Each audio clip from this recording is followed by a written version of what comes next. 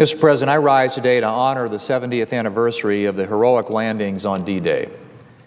The incredible bravery exhibited on June 6, 1944 in the first phase of Operation Overlord to liberate Western Europe from the clutches of Nazi Germany is one of the defining moments of modern history. The images of American GIs landing at Omaha Beach, Utah Beach, and Pointe du Hoc have come to represent not only the great sacrifices made during World War II, but the enduring cause of freedom for which the United States still stands.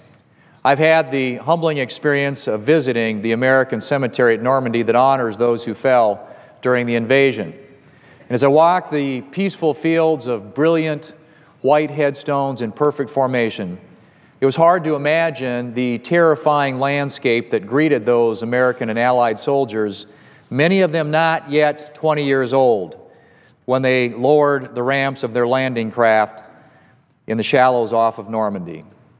Yet they understood the importance of their mission, and they held fast against one of the greatest evils the world has ever faced. And they prevailed. The men and women who answered the call to serve in World War II and those who supported them on the home front are often revered as the greatest generation. Deservedly so, Mr. President. They gave up their lives and their livelihoods, endured separation from their loved ones, and fought in unspeakable conditions. From the beaches of Normandy to the islands of the Pacific, where my father served as a Navy pilot, the United States and Allied forces fought for freedom and for the dignity of mankind. And we owe them a tremendous debt of gratitude. As we honor the memory of those who served before us, we honor their legacy by upholding the values for which they fought. Mr. President, we're here today because of the immense burdens that our men and women in uniform have carried on our behalf.